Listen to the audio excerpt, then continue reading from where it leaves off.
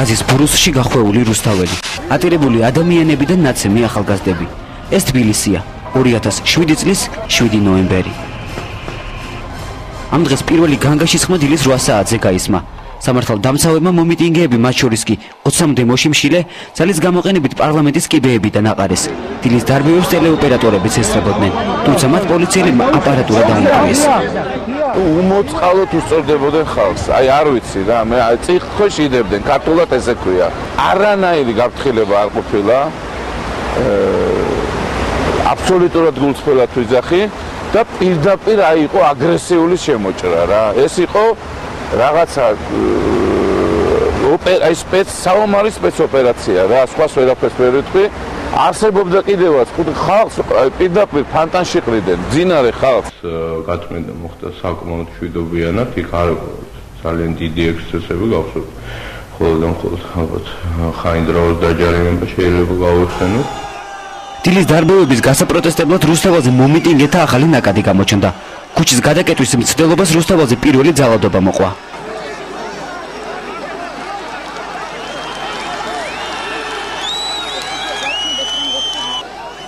აზეული ხელებით კი პოლიციას იმას ანიშნებდნენ, რომ უიარაღოდ იყვნენ და უბრალოდ შვიდობიან აქციას მართავდნენ. თუმცა უცნობი ქალბატონი მომიტინგეებს ნაზიხმით დაშლისკენ მოუწოდებდა.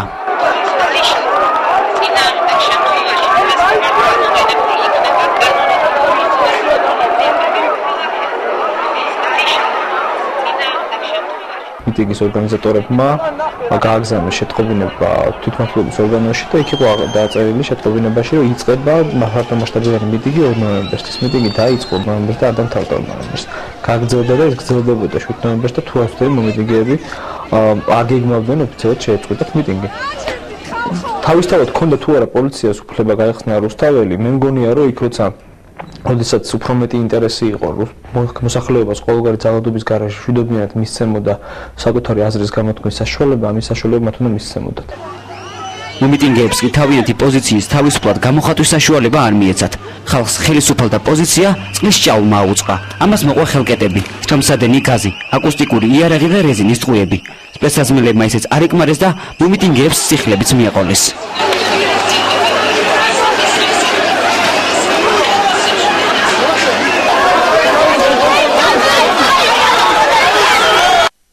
იმის ნათელი დასტური რომ დრონი მეფობენ და არა მეფენი ეს ფოტოა მასზე კარგად ჩანს როგორ უსწორდებიან ფიზიკურად ჯინსიანი ნიღბიანები. ყოფილ სახელმწიფო მინისტრს ავთანილ ჯორბენაძეს მე ჩვენება რომ მიზანი აი ამასეთ სასტიკი დარბევით ილდანო იყო რომ რაღაცა გავიზიანება გამოიწვიოთ საზოგადოებაში რომ მე უფრო სასტიკი დარბევა განხორციელებულიყო და ძალა გამოიყენებია. ამ კადრების ნახვის შემდეგ სახალხო დამცველი პოლიციის პოლიტიზირებას კანონის უხეშ დარღვევად აფასებს. სუბარი ამბობს, რომ სამართალ დამცველმა წესრიგი უნდა დაამყაროს და არა ხალხი გააღიზიანოს.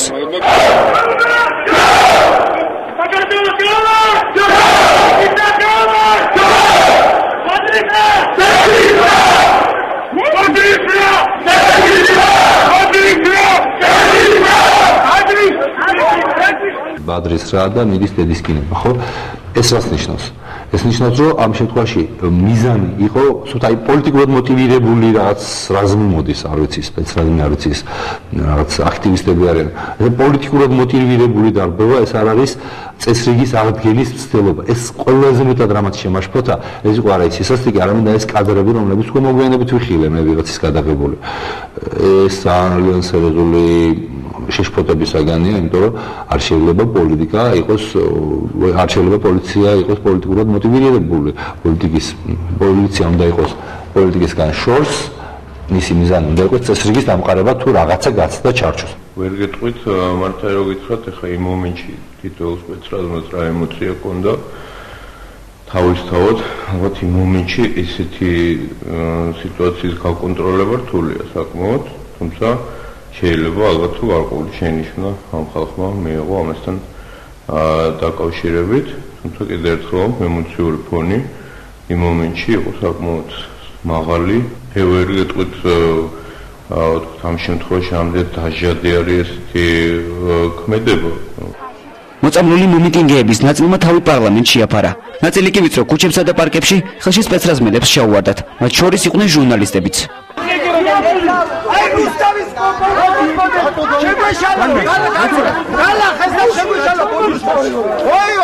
აი რუსთავის კომპანია ტელეკომპანია რუსთავიორის ჟურნალისტის სპეცრაზმელთა შეცდომის მსხვერპლი გახდა. დათო კაკულია იმედის გადამღებ ჯგუფში აერიათ. გიგაბოკერია მე და შენი ბაბუა ვიყავი ძმები გიგაბოკერია გთხოვ გამოდი იმიტომ რომ შენ პატიოსანი ადამიანი ხარ და მაგკვლელებთან არ უნდა იყო გამიჯერე ხალხი გაპატიებს მე მაგრა პატიებს ხალხს ეზიზღებდა გთხოვ გამოდი ნათესავისგან განსხვავებით გიგაბოკერიას კარგად ესმოდა რა შეიძლება მოჰყოლოდა იმ დროს მის რუსთავაზე გამოჩენას. ამიტომ ხალხს მხოლოდ პარლამენტიდან მიმართავდა. და მინდა მიმართო ჩვენ ხალხს. ხასუსო მათ შორის იმათ ვისაც არ მოწონს ძალიან ეს ხელისუფლება რომელს არ მოწონს ხელისუფლების მოქმედებები აი არის კრიტიკული იმის იმათ როგორ მოიქცა ამათ იმ სიტუაციაში. ეს ყველაფერი ახლა არის მეათასე ხარისხოვანი იმიტომ რომ ჩვენ ყველანი ხედავთ რომ ღია ომი მიმდინარეობს საქართველოს სუვერენიტეტის დამოუკიდებლობის ჩვენი ღირსების და მომავლის წინააღმდეგ. ამაზე გამჭვირვალე ომის წარმოქმნა შეუძლებელია და მინდა გითხრათ რომ საქართველოს ვერ დააჩოქებენ. ეს ხელისუფლება და ეს გუნდი არის ქართული ხალხის ნების გამომხატველი. თუმცა საეჭვო ვინმეს ნება ყოფილიყო თავი ასეთ მდგომარეობაში ინახა. ასობით მოწამლული ადამიანი ქუჩაში სულს ვეღარ ითქონდა მათი უმეტესობა ქალაქის სხვადასხვა საავადმყოფოებში გადაიყვანეს 7 ნოემბრის შემდეგ ექსპერტები სამართალ დამცავთა მხრიდან ძალის გადამეტებაზე საუბრობენ. ირაკლი სესიაშვილი ამბობს, რომ დაუშვებელი იყო გაზის ყუმბარების დიდი რაოდენობით გამოყენება. არ შეიძლება მოკლე ტერიტორიაზე რამ ასე ვთქვათ გადამეტებული რაოდენობის ყუმბარის გამოყენება რამდენადაც ეს იწევს ეს ასე ვთქვათ ეწინააღმდეგება თავად ამ ყუმბარის გამოყენების მიზანს. კერძოდ ყუმბარის გამოყენების მიზანი არის რომ პირს თვალები აეწვეს და დატოვოს ტერიტორია და გაათავისუფლოს ის ტერიტორია, რომელსაც იკავებს. მაგრამ ამ შემთხვევაში თუ იქნება ზედმეტი რაოდენობის ყუმბარი გამოყენებული, მაშინ მოქალაქე შეიძლება დაეკარგოს მხედველობის უნარი და არ მიეცეს საშუალება ადეკვატურად დატოვოს ტერიტორია. წინააღმდეგობა არც მაშინ არსებობდა, როდესაც მომიტინგეებმა თავი ქაშოთის ტაძარში აფარეს. თუმცა სასულიერო პირების განცხადებით, შემსადენ მაირმა ეკლესიაში შეაღწია. ძალიან სამწუხაროა, მაგრამ ფრაპრის ეს არ გაუკეთებია უცხო ჯარს. მე აქ ვიყავი 9 აპრილზე, დღესაც აქ ვიდექ. ესე იგი, კარების დახურვაც კი ვერ მოასწარეს. ისეთი ბოლი და უბედური რა იდგა ეკლესიაში. ეხლა აი საკმაოდ ვეცდებით რომ რამენაირად ეს როგორ? მე მარტო რა პოლიციელებს არ ეკეთებ ნიღმები და თვითონ ვიღაცა მიყაბი გაიგეთა ვინც გაუშვა გაზი. ეს შეიძლება კაცო ეს პოლიციას დაწამლეს და ბელც და არავის არ ერჩე. რა ხდება ეს? რა არის კაცო ეს არის საშინელება. ეს ეს ეს შეიძლება მოექცე ან ეკლესიას ან შეხავს ეს შეიძლება მოექცე. დაი ბოლი და კარები ძვის დაახურე ვისაც დაახურე შეიძლება გახდა დავდეგი და არ აღიხედავალენი რამენაირად მომესულიერებნი ადამიანები 7 ნოემბერსა და 9 აპრილს შორის საერთოს კონსერვატორი კახაკუკავა ახლაც ხედავს, თუმცა ერთი განსხვავებით, ამბობს რომ მაშინ როდიონოვის ჯარისკაცებს ქაშვეთში გაზის ყუმბარა არ შეუგდიათ. 9 აპრილს ქართული მშვიდობიანი მანიფესტაცია დაარბიეს რუსმა ჯარისკაცებმა. ქაშვეთის ტაძარში ეს კარგად ჩანს კადრებში და ამის გადაცემა მაშინ მოასწრო 7 ნოემბერს მოასწრო ტელეკომპანია იმედმა რომ შეგდებული არის ეს ვიდეო კადრებზე ჩანს გაზის კაფსულა ასევე რომელიც აფეთქდა და გარდა ამისა აი სპეცდაზნიშნულების რაზმის ქვედანაყოფები იყვნენ შესული ეკლესიის ტერიტორიაზე არა თვითონ ტაძარში მაგრამ ეკლესიის ეზოში. ექსპერტები განმარტავენ რომ საქართველოს შეიარაღებული ნაწილების მშვიდობიან მომიტინგეთა წინააღმდეგ გამოყენება კანონის უხეში დარღვევა. ამ ნორმის დასადასტურებლად კი გენერალური შტაბის უფროსის რუსთავოზე გამოჩენა სახელდება. იქაც რა თანება თავდაცვითი სტანდარტებს როგორ მუშაობს და პერიმეტრში საბრძანებაა თავდაც სამინისტრო არ ერევა მომდეში ხოლო და გოთ ვინ დაკონტროლებს ტერიტორია. შინაგან სამართლის სამინისტრო აქ იმყოფებოდა თავდაცვის მინისტრი და რა აცანებოდა ბატონო მე იცავ სადაც საქართველოს უწეს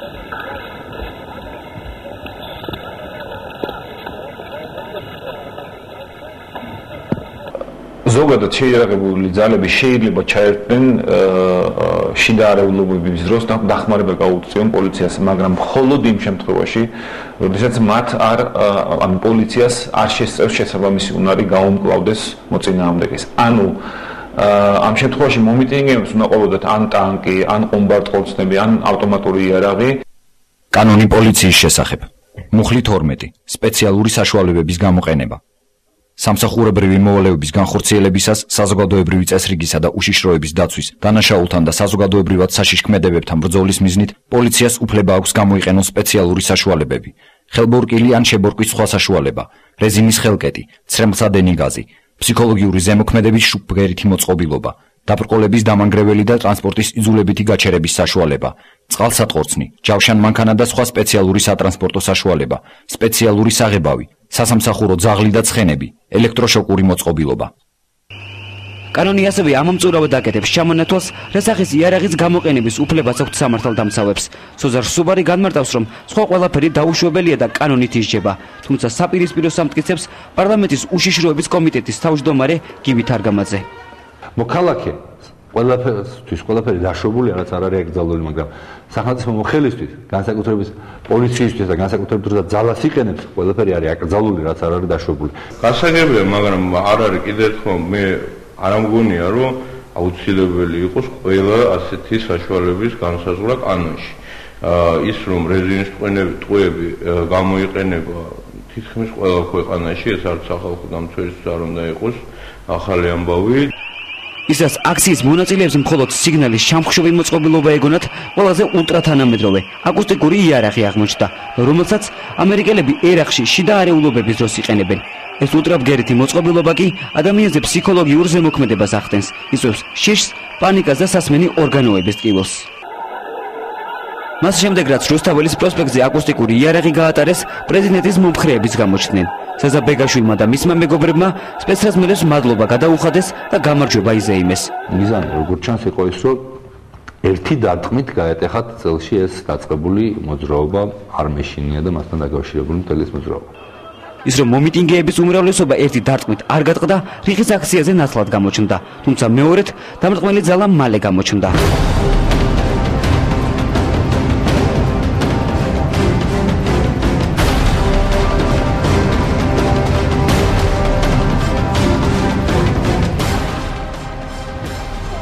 ამის პარალელურად კი ხელისუფლება ამტკიცებდა რომ რიყეზე ოპოზიციის ლიდერები მომიტინგეებს მთავრობის ძალისმიერი მეთოდებით დამხობისკენ მოუწოდებდნენ. კივი თარგამაძე ამბობს რომ მაშინ ქვეყანას აქციის მონაწილეთა მხრიდან საფრთხეელოდა და მათი დაშლა აუცილებელი იყო. და აქ გაკეთდა სამწუხაროდ ისო მოწოდებების მოწოდებები ჩვენ ძალიან ბევრი გვაქვს დაფიქსირებული რომ ჩვენ დღეს უნდა დავამთავროთ ეს ხელისუფლება და ჩვენ ეხლა აქ შევიკრიბებით და წავალთ ისევ რუსთაველზე, სადაც დავამთავრებთ ამ ხელისუფლებას. ანუ აქ იყო არა უბრალოდ მოწოდებები დამთავრებასთან დაკავშირებით, არამედ იყო მოწოდება, რომ ხალხი ჯერ შეკრებილიყო და შემდეგ ისევ წასულიყო რუსთაველზე. შვიდობიან და არანაირი მოწოდება. ხალხს უსა არანაირი მოწოდება. მე იქ არ მომისმენია. ის რომ დღეს ხელისუფლება დამთავრდა ხალხ ხელისუფლება დამთავრდეს დამთავრდება ხელისუფლება გახდა არალეგიტიმური და ასე შემდეგ. წვავე განცხადებები. უფრო წვავების გაკეთებულა. ეს მანქანაც მოუწოდებდა მომიტინგებს მთავრობის ძალისმიერი მეთოდებით დამხობას თუ სპეცრაზმელებს. მისი ფერი არ მოეწონათ ძნელი გასაგებია. ერთი კი რომ აქციის მონაწილეები ალყაში მოექცნენ და აქციის საშუალება არ მიეცათ ვინც კი რიყიდან გააღწია, სამართალდამცავები ვიწრო ქუჩებში დაედევდნენ და ფიზიკურად სადარბაზოებში გაუსწორდნენ. პოლიციელებმა არც ისინი დაინდეს, ვინც აფთიაქებში მედიკამენტების შესაძენად შევიდა.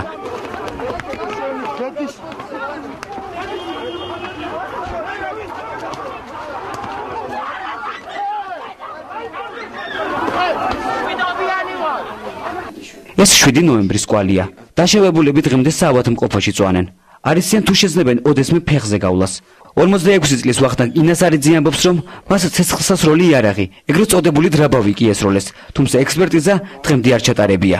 და ვიგზანის სტიკი წვა ფეხში ორივე ფეხი. რაღაც ფეთქებადი ნიუთიერება იყო რომელმაც რამოდენიმე მეტრზე ამაგდო და გადამაგდო წინ.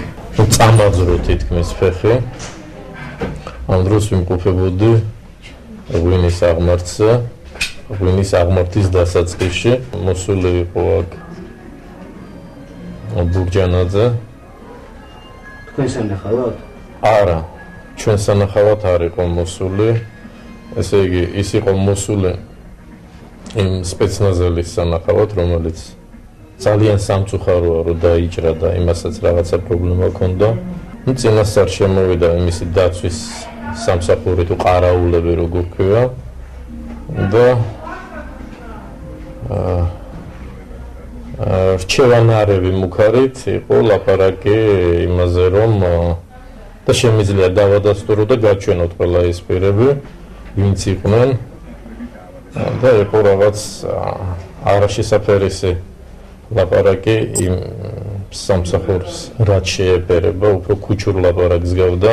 რომ ჩვენ არ გვეხმაურა არ გველაპარაკა როდესაც შემოვიდა და ბურჯანაძე ну პრინციპში ბოდიში მოგვეხადა ან შეწყალება გვეთხოვა და ასე შემდეგ. ეს მე ეს არის სამი ადამიანი რომლებსაც ეს როლეს პირდაპირ ეს არის ყუია on მოხვედრილი ძალიან ახლო. მიუჯეთ. 7 ნოემბრის შემდეგ 40 დღე გავიდა, თუმცა დაიწყებას მაინც ვერ მიეცა. რთულია დაივიწყო გაზის ბურუსში გახვეული რუსთაველი. ატირებული ადამიანები, დაშავებული ახალგაზრდები და ეს პატარა ბიჭუნა, რომელსაც პლასმასის უსახო ადამიანები საკუთარ ეზოში შეუვარდნენ. ჩვენ ასევე გსურდა ჩაგვეწერა და გვეჩვენებინა ის პოლიციელები, რომლებიც დაპირისპირების დროს ყველაზე მეტად დაზარალდნენ. მაგრამ შესაბამისი ნებართვა მათი ხელმძღვანელობის მხრიდან ვერ მივიღეთ. ერთ-ერთ მოტივს პოლიციელებისავე უსაფრთხოება წარმოადგენდა. 7 ნოემბერს გვიან ღამით საქართველოსში საგანგებო მდგომარეობა გამოცხადდა. საგანგებო რეჟიმი ჩვენი ქვეყნის ცხოვრებისთვის არც თუ ჩვეული მოვლენაა. უჩვეულო მდგომარეობაში ქვეყანამ 9 დღე იცხოვრა. მართალია 9 დღის შემდეგ საგანგებო რეჟიმი მოიხსნა, მაგრამ შეგრძნება იმისა, რომ ქვეყანა ისევ განსაკუთრებულ ვითარებაში ცხოვრობს, დარჩა. 7 ნოემბრის შემდეგ იმ ადამიანების წინააღმდეგ, რომლებიც აქციის დროს ძალადობაში ამხილეს, სამართლებრივი დევნა დაიწყო. რა თქმა უნდა, დარბების დროს ძალადობის ფაქტებს აქციის მონაწილეთა მხრიდან ადგილი ჰქონდა, თუმცა ძალის გადამეტებულ გამოყენებას და შეიძლება ითქვას, ყოვლად გაუმართლებელ სისასტიკეს არც სამართალდამცავები მორიდებიან. თუმცა ფაქტია, ჯერჯერობით მათ მიმართ არათუ საქმეები არ აღძრულა, ხელმძღვანელობის მხრიდან არც სამადლობელი სიტყვები და არც როგორც ქართული პრესა ამტკიცებს, ფულადი პრემიები დაკლებიათ. ერთადერთი ვინც საქართველოს მთავრობიდან 7 ნოემბრის მოვლენების გამო პროტესტის ნიშნად თანამდებობა დატოვა, შვეიცარიაში საქართველოს ელჩი ლევან ალექსიძე იყო. სისასტიკითა თუ ძალის გადამეტებული გამოყენებით თავი მხოლოდ დედაქალაქში არ გვისახელებია. ყველა ქართული ნაციონალური ტელეარხის ყურადღების მიღმა დარჩა 8 ნოემბერს ბათუმში სტუდენტური აქციის დარბევის ფაქტი. დროება არკვევდა არის თუ არა 7 ნოემბრის შემდეგ ქართული სამართალი ცალმხრები. ჟურნალისტი სოსო ბარნაბიშვილი მოგითხრობთ ჩვენი დროების საგანგებო ინერციის შესახებ.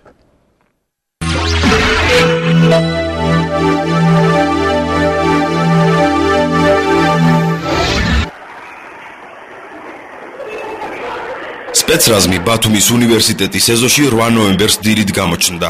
სტუდენტები 7-ში მომხდარის გაპროტესტებას გეგმავდნენ. აი სადაც იყვნენ ყველაზე ბევრი ბავშვები შეგროვებული, აი იქ მივიდნენ ეს სპეცნაზია უკვე ჩანს.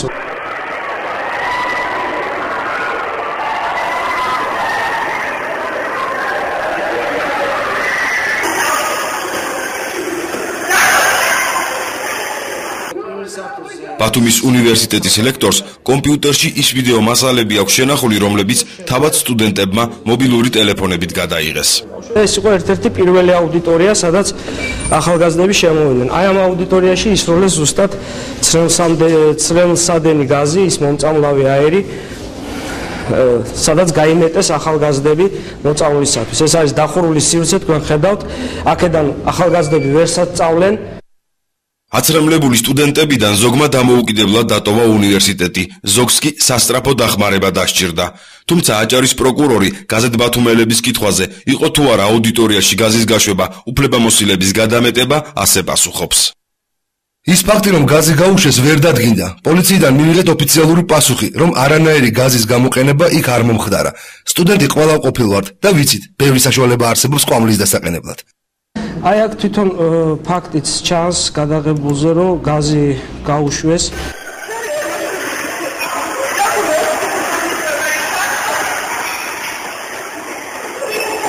პირველი სართულიდან ძალიან ბევრი გადმოხდა, მაგრამ თავს მაინც ვერ უშველა, იმიტომ რომ აქაც იყო განლაგებული სპეცრაზმელები, რომლებიც გამოსულებს ურტყავდნენ. როგორც უნივერსიტეტში ამბობენ, სტუდენტებისა და ლექტორების ნაწილმაც კი არ იცოდა, რომ საგანგებო მდგომარეობა საქართველოს მთელ ტერიტორიაზე მოქმედებდა. ჩვენ არც ვიცოდით თუ საგანგებო მდგომარეობა იყო გამოცხადებული. ჯერ 7-ით 7-ში გამოვიდა მაშინდელი პრემიერ-მინისტრი თქვა რომ თბილისში არის გამოცხადებული, მე თუნდაც ღამით გამოუცხადებია ვიღაცას, რომ ეს საგანგებო მდგომარეობა მთელს ქვეყანაში არის გამოცხადებული. საგანგებო მდგომარეობა თბილისში 22 საათსა და 32 წუთზე გამოცხადდა. დაახლოებით საათ ნახევარის წინ პრეზიდენტმა გამოსცა საგანგებო დეკრეტი საგანგებო მდგომარეობის შემოღების შესახებ თბილისში, ქალაქ თბილისში მხოლოდ. და როგორც უკვე მოისმინეთ, საქართველოს პრეზიდენტმა თბილისში საგანგებო მდგომარეობა გამოაცხადა, ეს მხოლოდ თბილისს ეხება. ამ განცხადების შემდეგ გასაკვირი არაა, რომ სტუდენტების ნაწილი, რომლებიც მთელი დღის განმავლობაში აქციებს მართავდნენ, ღამის პირველ საათს არ დაელოდებოდნენ. სწორედ ამ დროს გვამცნო გიორგი არველაძემ, რომ საგანგებო მდგომარეობა თბილისშიც და დანარჩენ საქართველოსშიც ერთნაირად მოქმედებდა. მერაბ ღოღობერიძე რვაში დააკავეს. პოლიციაში მიყვანამდე ტვინის შერყევა განუვითარდა. ახალგაზრდა რესპუბლიკელს გზაში ადრინდელი აქტივობა შეახსენეს, როცა აჭარის შინაგან საქმეთა მინისტრის კარზე კაბა დაკიდა. შენ რა გეგონაო? გადარჩებოდიო? კაბა დაუკიდე ჩვენ მინდისო? 3 დეკემბერს როცა მიხეილ სააკაშვილი აჭარას სტუმრობდა ახალგაზრდებმა კიდევ მოინდომეს აქციის ჩატარება თუმცა არ გამოუვიდათ დაშლის კადრები კი ყველას წაუშალეს ბათუმურისგან განსხვავებით თბილისური 7 ნოემბრის შემდეგ აქციის მონაწილეთა დაკავება უფრო ოპერატიულად დაიწყო ზოგი იმავე დღეს აიყვანეს ზოგიც მოგვიანებით სანქციას ვერც შეიარაღებული ძალების უნიფორმის ერთ-ერთი ავტორი გადაურჩა. ზაალ სიხარულიძე კამერებმა ყვითელ აბადიან პოლიციელებთან შეხლა შემოხლის დროს დააფიქსირეს და სამეთში ჩოხოსანი რაინდი ხულიგნობისთვის დააპატიმრეს. სასჯელი 100 ლარიანი ჯარიმით შემოიფარგლა. როცა ის შეხლა შემოხლა დაიწყო, თქვათ, პოლიციასა და მომიტინგეებს შორის სივრცის გათავისუფლებაზე, ჩემ წინ ვინც იდგა აბსოლუტურად აი მომიტინგეების და პოლიციელები მე ეს ახალგაზრდები ერთმანეთში არ ვაჩხუბე. აი ძალიან კოლექტიურად ფოტოშორის იმ ორომ ტრიალში ყველაფერი ისე წაიმართა რომ არც ერთმა და არც მეორე მხარე ერთმანეთს აღარ დაარწმუნეს რუსთაველზე მღელვარების ცეცხლის დანთებიდან 4 დღის შემდეგ ყოფილ პოლიციელსაც მიადგნენ. დააპატიმრეს და უთხრეს, რომ შვიდში მიტინგზე იგინებოდი და საზოგადოებრივ წესრიგს არღვევდიო. თუმცა როცა გაზის რემლად იღურებოდა, ვალერიან დარჯიაშვილი სახლში დაბადების დღეს აღნიშნავდა. ამიტომ 7 ნოემბერი 6-ით შეიცვალა. ერთ-ერთი უბნის ინსპექტორი ორნი აიყვანეს დასვეს, ვითომ მე იქ მე დამინახეს ამათ და მე ვიგინებოდი და თქვენ ხედავ როგორ იგინება პოლიციის პოლკოვნიკი კაციო. და ესეთი რაღაც რაღაცა. ეს გინევა რამდენ ლარიან ჯარიმად დაგიჯდათ? დამიჯდა ეს თან პატივი მცეს, ვინაიდან 4 შვილი კა უმშევარ ხა გიჭირს 100 ლარში 100 ლარად დაგაჯარიმებთ 400 არა, ვაიო, აი ფსიკეთის ხო დაინახავ მაინც. როგორ არ დავინახა რომ ხელ სიკეთია ჩემს. 7 ნოემბრის აქციაზე ხათუნა შიუკაშვილიც დააკავეს. აქტიური სტუდენტი ამბობს, რომ მის დაშინებას ისევ ცდილობენ და ორიოდე დღის წინ კარიც კი შეუმტრიეს. ეს არის ის ძველი ნახეთ რა დღეში ჩააგდეს იქიდან რა ეს არ არის ეს არის ეს არის ძველი ნახეთ როგორ აწევს და როგორ გლეჯავთ რაღაცეები წვალობდნენ ფარნები ჰქონდათ თან ესე იგი ის ფარნები გამოძიებას აქვს აღებული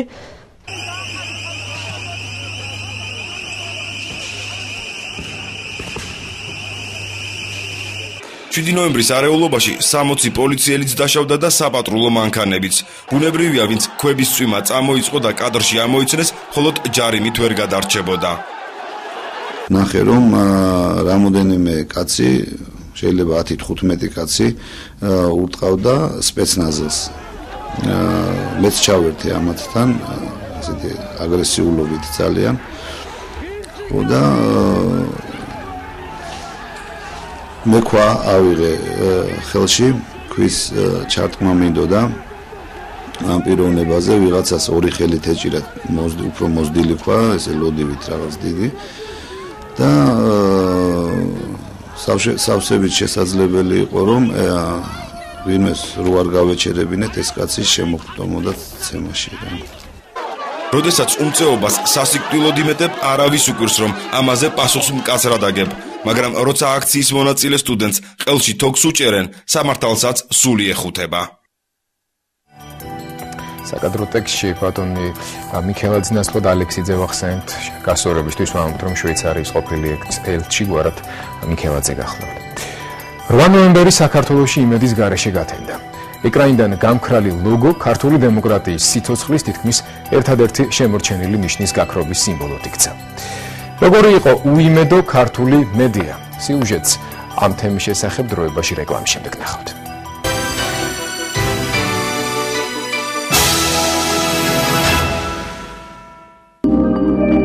ანია აირზენა Georgian Airways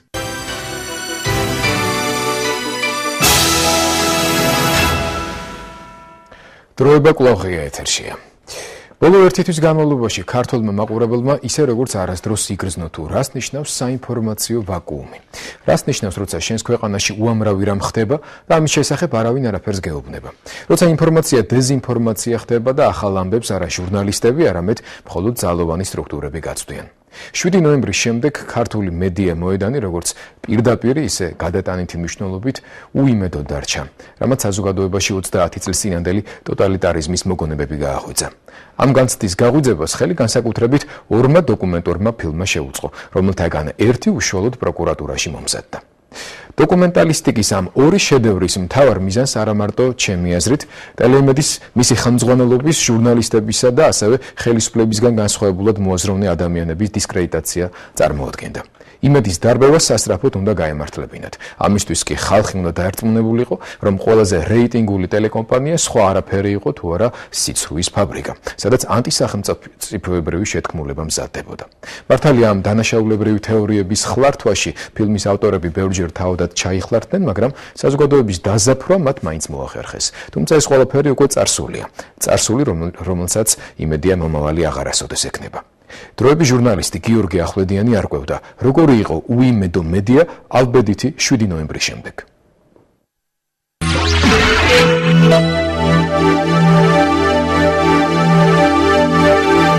ხმაურისმის ტელევიზიაში, ხმაურისმის ტელევიზიაში და რაღაცა საშინელება ხდება. ჯერჯერობით ჩვენ ტელეეთერში ვართ, თუმცა სტუმრები მოვიდნენ. კარგი, დროებით განშტოებით, არი ნერვიულად ყველაფერი კარგად იქნება. როგორც კი სახელმწიფო პროპაგანდისტული მანქანა ქართულ მედია მოედანზე მარტო, ანუ უიმედოდ დარჩა, მაშინვე ცალკარში თამაში დაიწყო. სასწრაფოდ გამოცხვა ორი დოკუმენტური ფილმის შეთქმულების თეორიაზე. პროკურატურის მიერ მომზადებულ ფილმში პატარკაციშვილის საქმე დიქტორის გამყინავი ხმითა და გენპროკურორის მოადგილის მშვიდი კომენტარებით ქვეყანამ საუკუნის ყველაზე შემზარავი და დანაშაულებრივი შეთქმულების შესახებ შეიტყო. უფრო მეტიც, არსებული მტკიცებულებებით გამოიკვეთა მთელი რიგი გარემოებებისა, რომელიც ადასტურებს ვარაუდებს, რომ ბადრი პატარკაციშვილი საკუთარ ტელეკომპანია იმედს იყენებდა პირადი პოლიტიკური ამბიციების განსახორციელებლად და საქართველოსი ხელისუფლების დამხობისა და ანტიკონსტიტუციური ქმედებების სამართავ მნიშვნელოვან ინსტრუმენტად. ასე დაიწყო ბადრი პატარკაციშვილის საქმე.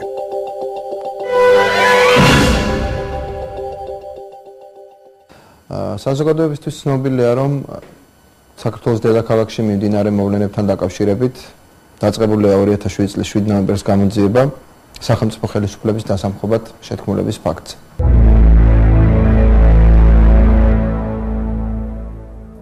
როგორც ირკვევა მრავალწლიანი ანტისახელმწიფოებრივი მოღვაწეობის შემდეგ ეგრეთ წოდებულმა შეთქმულთა ჯგუფმა ღია მოქმედებები ტელეიმედის ღია ეთერში ინგა გრიგოლიასთან ირაკლი ოქრუაშვილის სტუმრობით დაიწყო. მე მას მივესალმები საღამომშვიდობის როგორ ჯანდებით. იმედის ეთერში მისმა გამოსვლამ დაადასტურა რომ გეგმამ მოქმედება დაიწყო.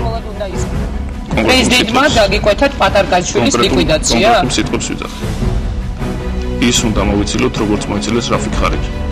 ეს გახლავთ ლიბანის პრეზიდენტი, რომელიც აფეთქეს საკუთარ მანქანაში. ის ფული, რომელიც ბადრიამ პროკურატურისა და საზოგადოებრივი მაუწყებლის პუბლიცისტიკის მიხედვით, იმედის ღია ეთერში ოქრუაშვილის თავზარდამცემი ბრალდებები ბიზნესმენისა და შეთქმულების მთავარი ორგანიზატორის ბადრი პატრკაციშვილის მიერ იყო შეკვეთილი. 2 ნოემბერს გამართულ მიტინგზე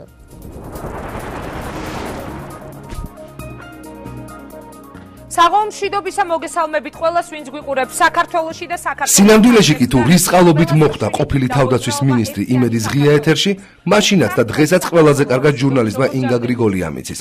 პრაიმ ტაიმის წამყვანს დღეს უკვე ვეღარავინ დასამებს, რომ ტელეიმედის ამ პატარკაციშვილის მიმართ რაიმე სუბიექტური ინტერესები ამოძრავებს.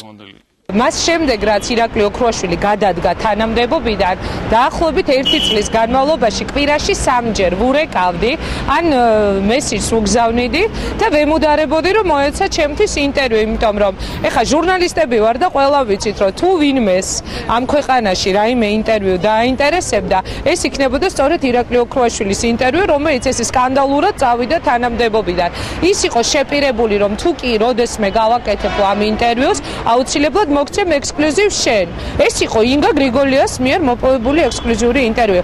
არანაირი დაკვეთა, არასოდეს არ მივიღებ არანაირ ბრალდებას იმის შესახებ, რომ მე ვიღაცამ დამიკვეთა. საზოგადოებრივ მაუწყებელში მომზადებული დოკუმენტური ფილმი სახელწოდებით ნოემბრიდან ნოემბრამდე გვაუწყებს, რომ ქვეყნის მოღალატეთა მთავარი იარაღი ტელეკომპანია იმედი ყოფილა. ოპოზიციის უმეტესი ნაწილი და მთელი სახალხო მღელვარება კი რუსეთიდან მართული. რაც თავარია ინფორმაცია ამის შესახებ ქართულ კონტრდაზვერვას არც მეტი არც ნაკლები უცხოელმა მოკავშირეებმა მიაწოდეს. დაახლოებით 1 წლის განმავლობაში შეიძლება უფრო მეტი აა დროიდან საქართველოს ხელისუფლებას ჰქონდა ინფორმაცია, რომელიც მან მიიღო დასავლელი მოკავშირეებისა და ჩვენი სტრატეგიული პარტნიორებისგან რუსეთის გეგმების შესახებ, რომელიც მდგომარეობდა შემდეგში. ხელისუფლების ყველანაირი გზით შეცვლა, ნებისმიერი გზით შეცვლა, ნატოს და საქართველოს დაახლოების არ დაშვება და აფხაზეთის აა სიტუაციის მოუგვარებლობა. ტელეკომპანია იმედი მოსახლეობას მოუწოდებს გამოსვლებში აქტიური მონაწილეობისაკენ. გამოსვლების კულმინაცია დაგეგმილია ნოემბერში. რაც როცა ეს განცხადებები ეგრეთ წოდებული სახელმწიფო ტელევიზიებით გადაიცემოდა, ქვეყანაში ბევრმა არ იცოდა თუ როგორ აფასებდნენ რეალურად ჩვენი მოკავშირე სახელმწიფოები საქართველოსში ნოემბრის დასაწყისში განვითარებულ მოვლენებს. დავაზობთ ამონარიდებს შეერთებული შტატების სახელმწიფო მდივნის წარმომადგენლის შონ მაკკორმაკისა და ევროპარლამენტის განცხადებებიდან. ბოლო რამდენიმე დღეა საქართველოში საპროტესტო აქციები მიმდინარეობს, რომლებიც მთავრობის სხვადასხვა ქმედებების წინააღმდეგაა მიმართული. ბუნებრივია ჩვენ მხარს უჭერთ ადამიანთა უფლებას მშვიდობიანად გამოხატონ პროტესტი ნებისმიერ ადგილას. ამ ეტაპზე ვერაფერს ვიტყვით იმის შესახებ, თითქოს საქართველოში მიმდინარე მოვლენების უკან უცხოური ძალებით განან. სატელევიზიო გამოსვლაში პრეზიდენტმა სააკაშვილმა საქართველოში მიმდინარე მოვლენებში რუსეთის ფედერაციის სპეცსამსახურები დაადანაშაულა და განაცხადა, რომ ჰქონდა სარწმუნო ინფორმაცია, თითქოს წლის ბოლოს სახელმწიფო გადატრიალება მზადდებოდა. თუმცა ამ განცხადების დამადასტურებელი საბუთი მას არ წარმოუდგენია. ევროკავშირის შეშფოთებას გამოთქვამს საქართველოს პოლიტიკურ პროცესებში რუსული სპეცსამსახურების მონაწილეობის ბრალდებებთან დაკავშირებით და აცხადებს, რომ ეს ბრალდებები ადგილობრივი კანონმდებლობისა და საერთაშორისო პრაქტიკის შესაბამისად უნდა დადასტურდეს.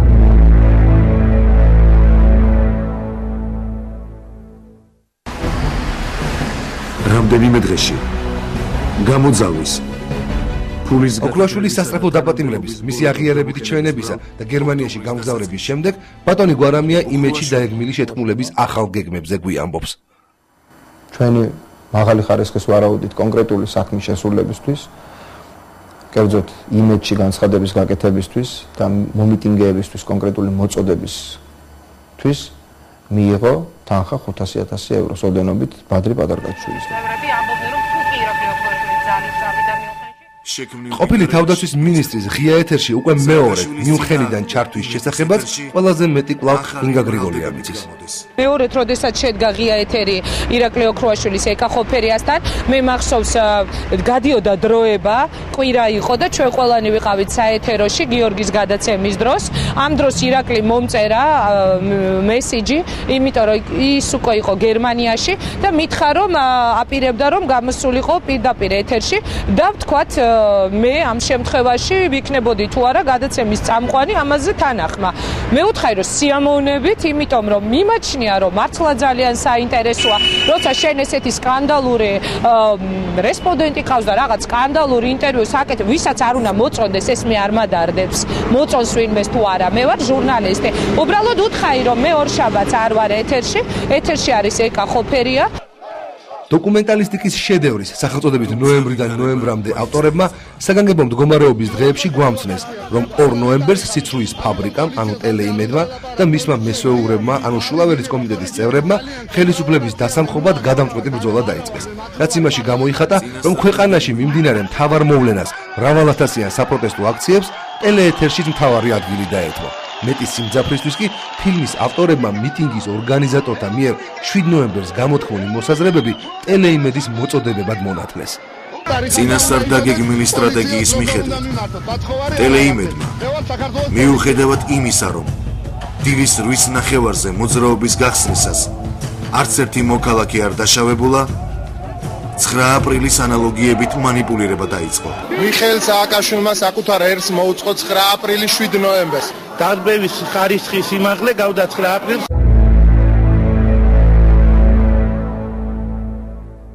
ის რომ ხელისუფლება 7 ნოემბრის საღამოს ტელეიმედის დარბევას გეგმავდა, ბევრმა დილიდან იწოდა. საჭირო იყო მხოლოდ საბაბი. ასეთი საბაბი ხელისუფლებას არავინ მისცა. მაშინ გადაწდა რომ საბაბად სამების საკათედრო ტაძრიდან განხორციელებული პირდაპირ ჩართვა დაესახელებინათ. რამდენიმე წუთის წინ გავრცელდა ინფორმაცია, რომ სპეცდანიშვილების რაზმის წარმომადგენლები უკვე სამების საკათედრო ტაძრისკენ დაიზრენ. მიუხედავად იმისა, რომ სულ აქ რამდენიმე ასეული მოქალაქე გაიყო დარჩენილი, რომელიც სამების საკათედრო ტაძრში სალოცავად ამოვიდა, ამ ინფორმაციის გავრცელებისთანავე სამების საკათედრო ტაძრს მოაწყდა ხალხი. ხალხის რაოდენობა აქ წუთის წუთს მატულობს რამდენიმე წუთის წინ ახალგაზრდებს ჰქონდათ წრე შეკრული, კითხულობდნენ მამაო ჩვენოს ქვემოდან ქუჩიდან ამოსული ადამიანები ამბობდნენ, რომ სპეცდანიშვილების რაზმის წარმომადგენლები კვლავ ისრიან რეზინის ტყვებს. ნამდვილად ნამდვილად როგორც კი სამების საკათედრო ტაძრის ეზოს გაცდებით გაზის სუნის შრომსადენი გაზის სუნი რომელიც რომელიც შინაგან საქმეთა სამინისტროს წარმომადგენლებმა გამოიყენეს როგორც რუსთაველის პროსპექტზე ასევე რიყეზე. ჯერჯერობით ინფორმაცია იმის შესახებ აპირებენ თუ არა ნამდვილად ამოსვლა სპეცდანიშნულების რაზმის წარმომადგენლები პოლიციის თანხლებით სამების ტაძრის ეზოში. ეს ეს ინფორმაცია ჯერჯერობით დაზუსტებული არ გვაქვს ჩვენ თუ რამე მასალა მოიპოვეთ ამის შესახებ ან თუ ნახეთ კადრები როდესაც უკვე სპეცდანიშნულების რაზმის წარმომადგენლები მოდიან ტაძრისკენ ამას მაყურებელს აუცილებლად შევთავაზებთ თუმცა ქუჩიდან ამოსული ადამიანები პანიკაში არიან იმიტომ რომ არ არის გამორიცხული როგორც ისინი ამბობენ ამბობენ, რომ შინაგან საქმეთა სამინისტრო და თავდაცვის სამინისტროს წარმომადგენლებმა მოსახლეობა და აქციის მონაწილეები, რომლებიც თავის სამების საკათედრო ტაძრის ეზოს შეაფარეს, აქაც დაარბიან. ძალიან დიდი მადლობა ნათია მიქიაშვილი საუბრობდა პირდაპირ ეთერში სამების საკათედრო ტაძრს დაბელ მომიტინგეთა ნაწილმა შეაფარა თავი, თუმცა როგორც ჩანს, მათთვის არც იქ ყოფნა არის უსაფრთხოად განსვრცელდება ცნობა, რომ სამეფისაკენ სპეცდანიშნულების რაზმი დაიძრა ამ ინფორმაციის გადამოწმებას ჩვენ ახლა. ავტორებმა როგორც ჩანს საჭირო დაღარ ჩათვალეს თავიანთ ფილმში სოფო მოზიძისთვის ფრაზა დაესრულებინათ და ასევე ზედმეტად მიიჩნიეს იმ ინტერვიუების ჩვენება რომელიც ნათია მიქიაშვილმა სამების საკათედრო ტაძართან ჩაწერა და რომელზე დაყრნობითაც გამოთქვამდა ის თავის ვარაუდებს. კალები არ დაგვინდეს ხახამრეს არ დაგვინდეს არ დაგვინდეს. ახლა მოდის ვინმე ამ წუთში ამოდის პატული ჟარი ეხლა დაიმაგდან მოდივარ ეხლა. ნუ ჩახვალ თქვენით რა. ამო წავიდე ნაბლა არ ჩაგვიდე არა არ სამბის საკათედრო ტაძარს დაბრუნ მიტინგეთა ნაწილმა შეაფარა თავი, თუმცა როგორც ჩანს, მათთვის არც იქ ყოფნა არის უსაფრთხოად განსვრცელდება ცნობა, რომ სამეფისაკენ სპეცდანიშნულების რაზმი დაიძრა ინფორმაციის გადამოწმებას ჩვენ ახლა ვცდილობთ. ეს ის შემთხვევა იყო, როცა მთავარია დაგადანაშაულონ და თავის მართლების სიტუაციაში ჩაგაყენონ. შემდეგ კი პასუხისგაცემის საშუალებაც აღარ დაგიტოვონ. და როგორც აეხლა გვაცნობებენ ტელეკომპანია იმედთან უკვე სპეცრაზმის ძალებია მობილიზებული ისინი უკვე შემოიჭნენ ტელეკომპანია იმედში. იმედი იმედი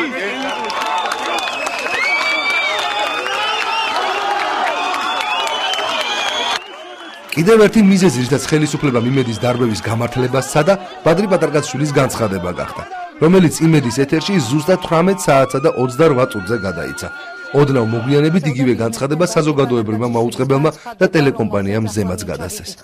სააკაშვილის ფაშისტური რეჟიმი განწირულია, მე ისევე როგორც მილიონობით ქართველი უკანასკნელ წამამდე გულუბრილოდ ვფიქრობდი, რომ ხელისუფლება ვერ გაბედავდა ომს საკუთარი ხალხის წინააღმდეგ. დარბევითა და ლიცენზიაზე ყადაღის დადებით რატომღაც მხოლოდ იმედი დაისაჯა. თან ისეთი ოპერატიულობით, რომ სამართალდამცავებმა ისიც კი ვერ მოასწრეს, რომ ბრალდებები იურიდიულად მაინც გაემართათ. აქ არის მითითებული დრო, ოდის ჩატარდა შემოწმება. ესე იგი 2017 საათს და 40 წუთზე, ესე იგი 6 რომ 20 აკლდა. მაშინ დაფიქსირდა კომისიის მიერ, რომ შპს ტელეკომპანია იმედმა რამოდენიმეჯერ გადასცა თავის ეთერში არკადი ბადრი პატარკათიშვილის მიმართვა. სინამდვილეში როდის გადაიცა? სინამდვილეში აღნიშნული განცხადება ეთერში გადაიცა 7-ის 28 წუთზე.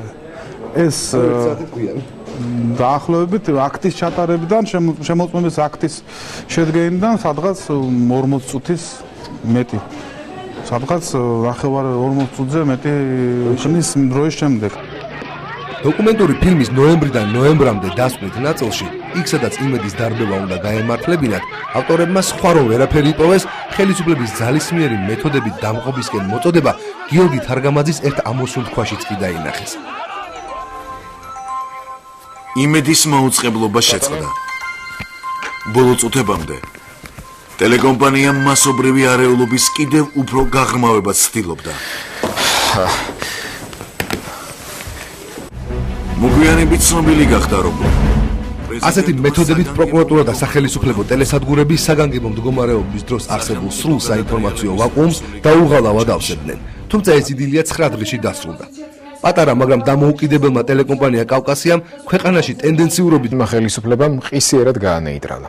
ერთი თვის განმავლობაში დაპყრობილ ტელესადგურში დაბრუნებამდე გვეგონა რომ დაგვარბიეს და გამოგვყარეს. ვწდებოდით, თურმე გაგვძარცვეს და დაგვაყაჩაღეს კიდეც. 7 ნოემბერი მოიხსენება დიმეჩი შემოჭრით აგვირგვინდა. სამწუხაროდ ამ მოვლენის ამსახველი ვიდეო მასალა არ არსებობს იმ უბრალო მიზეზის გამო, რომ ყველა ვისაც მისი გადაღება შეეძლო, იმ დროს იეტაკზე იყო განთხმული. ხოლო დასვის სამსახურის სამეთვალყურეო ვიდეო კამერები დაფიქსირებული კადრები თავად სპეცრაზმელებმა გაანადგურეს. ერთადერთი რაც შემოგრჩა სხვა ტელევიზიების მიერ გადაღებული იმედის ჭიშკართან განვითარებული მოვლენების სამსახველი მასალაა. რაც შეეხება შენობის შიგნით მიმდინარე პროცესებს, მისი გადაღება ფარულად მხოლოდ მობილურით მოხერხდა. ამიტომაც, როდესაც იმედში შემოჭრაზე სიუჟეტის მომზადება გადავწყვეტეთ, იძულებული გავხდით ეპიზოდების ნაწილის რეკონსტრუქცია მოგვეხდინა და ამ გზით აღვედგინა იმ დღეს შენობის შიგნით განვითარებული მოვლენების სურათი. დროების ჟურნალისტი თიკო ფეიქრიშვილი მოგიყვებათ, როგორ ვითარდებოდა სპეცოპერაცია იმედი.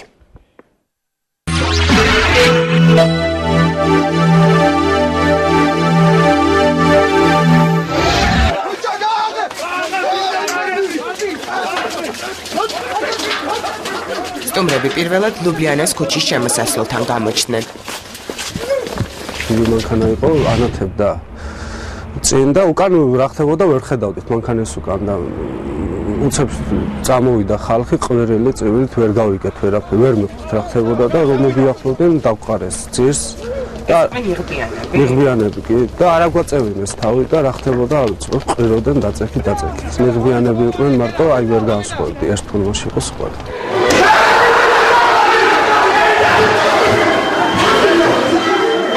მეთოდით ხდება შენობის დაცვის განიარაღებაც. გამოვიქეცი ძალიან სწრაფი ნაბიჯით, მაგრამ საკუთარ სამადგურზე რომ მოვახციე, უკვე დამხვდა ავტომატით ტიპი და მითხრა რომ არც ვიფიქრო, ეგრევე დაწექიო. ნუ ფაქტობრივად აქვე ნუ შემოსასვლელი და აქვე ვიწექი რა. და ნუ საკ და შემოდიოდნენ აგზელებდნენ შემოსვლას, ყველას უდრის იყო ჩემზე გადადიოდნენ პირდაპირ თავზე რა. security-ის კამერა რა დაამტრეს ამის მომსწრე ნამდვილად არ ამიტომ ესეც ჩემ თავზე მოხდა თქვევიდან დავინახე რა. აი ამ კამერაზე ლაპარაკი მაღლა იყო და ესე მოვიდა რა ტიპი.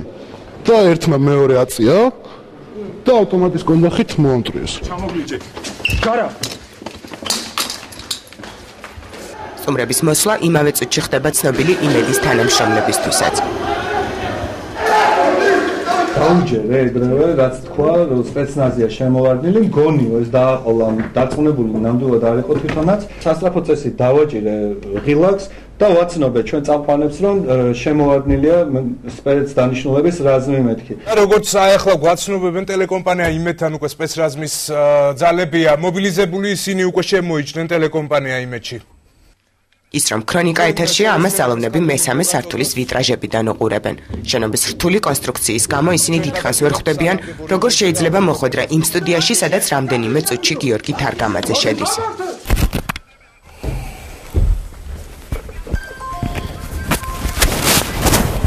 ეთერში ყოფნის პერიოდში გიორგი ვიტრაჟებიდან სპეცრაზმს თვითონაც ხედავს. ამ დროს ამტროვენ საეთერო სკარს და ეთერიც ითიშება. გადავწყვეტე პატარა დროის მოგება. და თუმბოჩკა იყო იქ დადებული მოგიდე ხელი კარებს და მივაგდი. ბიჭების კამები მე მივაყარეთ ყველაფერი და დავიწყოთ კარების დაჭერა. ეს კარი რომ გადმოინგრა და გადმოვარდა აქედან რომ გავხედე უამრავი შემორბოდნენ. აი ვერ ვერ დათვლით იმდენი იყვნენ და გაივსო. აი აქ ვიწექიმე არა პაატა იწომა ერთადერთი პაატა ის ეს ადგილი არ იყო ის ა ბატონო ვიწექი ბატონო დანარჩენი ადგილი. აქ იყო აუდიო პულტი ხმის პულტი. და მთხოვდნენ რომ გინდა თუ არა გამორთეოდონ მე ვეუბნებოდი რომ არ ვიცი ამ პულტის გამორთვა მეთქი და ადგამერე და კონტაქტი ვინ გამორთო პულტი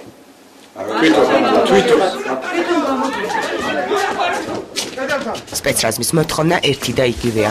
მობილური ტელეფონის ჩამორთმევა და ძირს დაწოლა შენობაში მყოფ ყველა თანამშრომელს ეხება. აი ხო გამოვედი, კიბეებიდან დავინახე რომ უკვე ამორბოდნენ და გაჩერდით სადაც ხართო. რო გამაჩერეს, აი ეს ტელეფონი მეჭირა, ესეც ჩამომართვეს და აი დამაწვინეს, თავი მედო აი აქ. და ნუ კი გითხრეს რომ არ გამოიხედოთ, მაგრამ უყურებდი ყველაფერს აქ როგორ მოძრაობდნენ, როგორ იძახოდნენ, სად არის მესამე სართული, როგორ აცვლიდნენ ოღონდ უნიღბოები ნაწილი აქ მესამე სართულზე, დანარჩენები აქ შეცვლიდნენ. ამ დროს უკვე მატულობს ხალხი იმედის შენობის ჭიშკართან.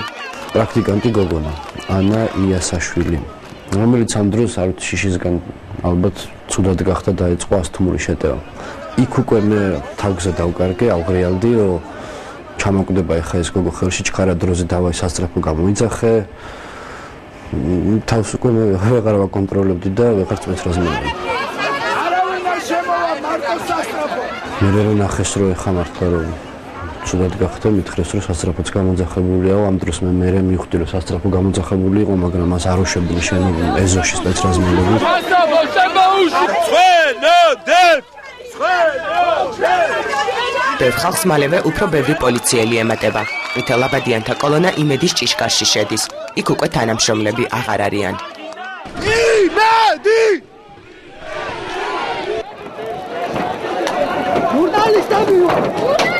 ჟურნალისტები ვარ!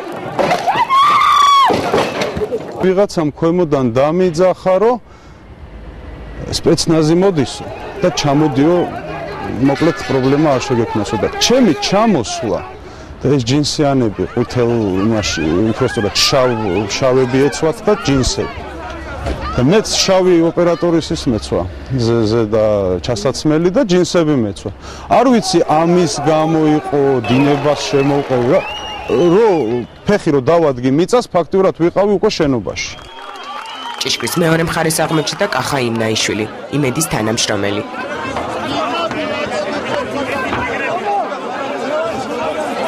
ეს ერთადერთი და უნიკალური სატელეფონო კადრები სწორედ მან და მისმა კოლეგამ გადაიღეს. მე ვინაიდან შემდეგ შემოვედი, ნუ გადმოძვერა მალაღაფის კარებზე. და ნუ ვიღებ ვიღებდი როგორ ყურზე მქონდა ეს მიდემორი და ვითომ ლაპარაკობდი და ესე მქონდა ჩართო მახსოვს აქ ნიუსრუმის შესასვლელთან ერთი იქნებოდა ესე სადღაც ერთი 150 კილოიანი რა ვიცი ფალოსის კულტის აპოლოგეტი როგორ დახტოდა კომპიუტერის პროცესორზე. ამ ოთახში ხდება. ხო, აი ამ ოთახში, აი ამაზე დახტოდა პირდაპირ პროცესორზე და მთლიან თავის როკვით მისის როკვის და ხტონის მაშინ გამოიხატებოდა რომ ეს იყო კმაყოფილი რა. და გვერდით ედგა იგივე სექტის წარმომადგენელი შედარებით მომცრო ქრომოსომა, რომელიც ეს დივიკამის კასეტებს ესე პუტავდა. ესე პუტავდა და ეტყობა დიდხანს გაუგზელდა ეს არილეოდა ფირი ამ კასეტაში და მოწყენილი იყო ამიტომ. იცი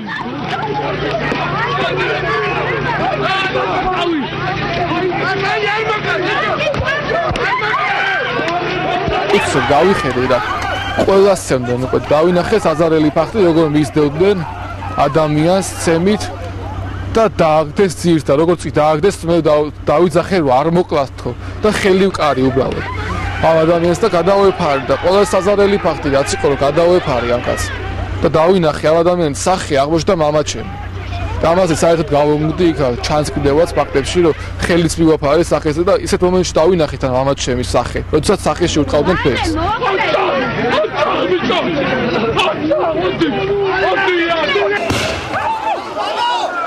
რადგან შენობაში ძალოვნების მეტი არავინ იყო, თამარი ამბავი კინოსტუდიის ეზოში და ლუბლიანას ქუჩაზე გაგრძელდა. ნუ, ყავა! კრიმინალური პოლიცია საჭარით დამოწყოლები ჩაიბარა. დაიჭირე დაწიეთ ბიჭო რა შვები, ხო? ეკი ადამიანია ხო ბოლოს და სასტრაფოში შეიყო სასტრაფოში ამ პერიოდში დაზარალდა იმედის ყველაზე მეტი თანამშრომელი და ის მოქალაქეები, ვინც მათ მხარდასაჭერად მოვიდა. მათი დევნა ძალოვნების მხრიდან რამდენიმე საათის განმავლობაში უკვე ქუჩებში გრძელდებოდა. 10 დეკემბერი 2008 წელი, 14 საათი და 30 წუთი. ბადრი პადარკაციშვილის ერთ-ერთი ყოფილი ბიზნეს პარტნიორი საქართველოსდან მიდის. გოგი ჯაოშვილი საქართველოს სომხეთის საზღვრამდე სახალხო დამცველმა მიაცილა. გიორგი ჯაოშვილის საქართველოსში დარჩენა საშიში მას შემდეგ გახდა, რაც მან მოულოდნელი განცხადება გააკეთა. ბადრი პატარკაციშვილის ერთგული ბიზნეს პარტნიორის აღიარებას საზოგადოება დიდხანს ელოდა. ოჯახი ფიქრობს, რომ გიორგი ჯაოშვილის ამ განცხადებით საბოლოოდ მტკიცდება, რომ ტელეკომპანია იმედი ბადრი პატარკაციშვილს არა ჟოზეფ ქეიმ არამედ საქართველოს ხელისუფლებამ წაართვა. ამ განცხადებიდან რამდენიმე საათში გიორგი ჯაოშვილმა ქვეყანა აი ამ სასწრაფო საშუალებით დატოვა. So now we will bring this person out here to speak directly to you.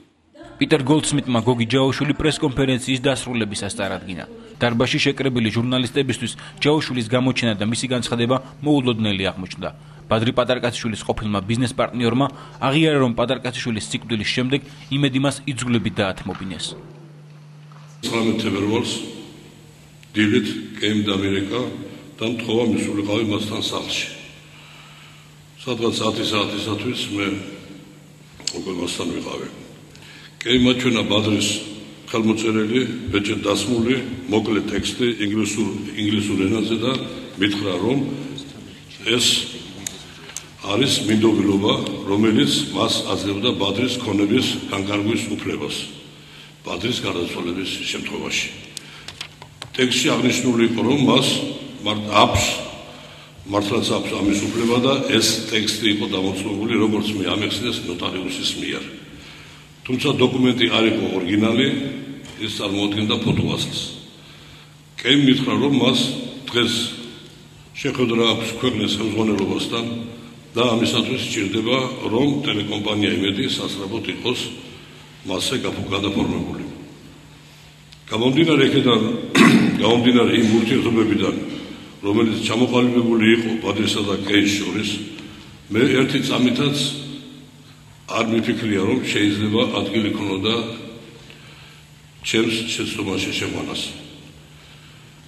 თუმცა ერთ მომენტში გადავწყვიტე რომ დამერიკა ქალბატონი ინა გუდავაძისათვის მაგრამ ამ დროს ლონდონში მოიხსენებათ 4 საათი განსხვავება იყო 6 საათი და გლოვე გლოვიარე ოჯახში მოვერიდე დილით ასე 6 საათზე ასე ადრე ზარის დარეკოს.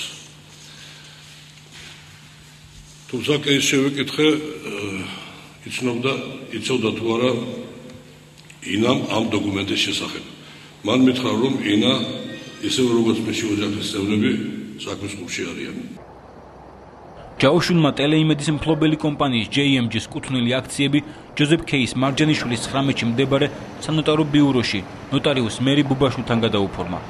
ჯაოშვილი იმასაც იხსენებს, რომ კაბინეტში ნოტარიუსის გარდა კიდევ 5 ადამიანი დახვდა, როგორც მოგვიანებით გაარკვია, ერთ-ერთი მათგანი თავდაცვის სამინისტროს, ხოლო მეორე საგადასახადო პოლიციის თანამშრომელი იყო. აქციების გადაფორმებიდან რამდენიმე საათში გიორგი ჯაოშვილი უკვე ფინანსურ პოლიციაში მიყავთ და კომპანია იმედიის სამეთვალყურეო საბჭოს თავმჯდომარის თანამდებობიდან გადადგომის შესახებ განცხადების დაწერას აიძულებენ. ამავე დღეს დაახლოებით 23 საათზე მე დაუკავშირდი ჯოზეფ კეის, რათა გამიგო ქვეყნის ხელისუფლებასთან მისი შეხვედრის შედეგები.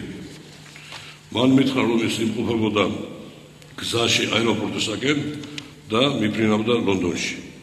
მე ვთქვი რომ ეს ახლავე მივიდოდი აეროპორტში. შულთან ერთად ჩავჯექი ბანკანაში და წავედი აეროპორტისაკენ. რუსთავის პროსპექტზე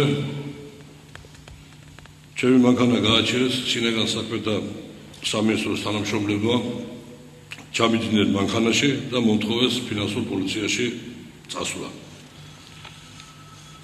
გზაში იყო მომენტი, როდესაც ადგილი ჰქონდა ფიზიკურ ძალადობას.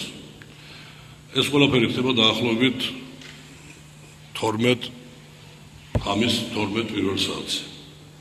ფინანსურ პოლიციაში ჩემგან მოითხოვეს როგორც რომ დამეწერა განცხადება